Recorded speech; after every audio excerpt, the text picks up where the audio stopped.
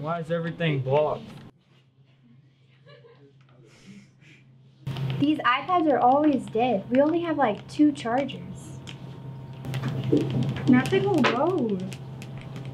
It's all so slow. Can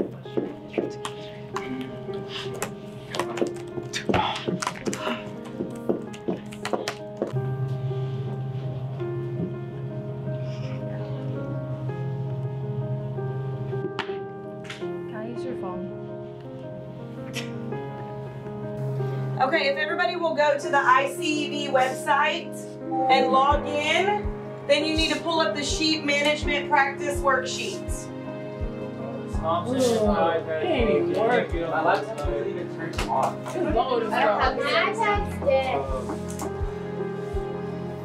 Okay. No technology is definitely causing a problem in this classroom. Ag department is in dire need of a new technological overhaul. As of today, all of the laptops are critically outdated and only few remain that are actually functional. We have few iPads and even fewer chargers, leaving many students with no technology whatsoever. The money from this grant will go towards new laptops for our students to study and learn with. With these new laptops, our department will be able to take on additional projects, have better quality research, and increase student to teacher communication. They will also be used to improve our competition experience with the increased rate of data entry and livestock registration.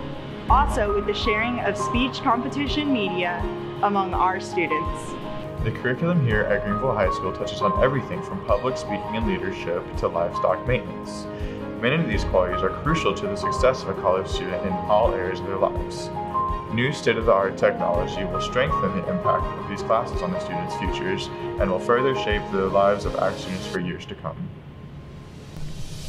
With over 150 students participating in FFA and over 400 students included in agricultural classes school-wide, the few laptops remaining just isn't cutting it.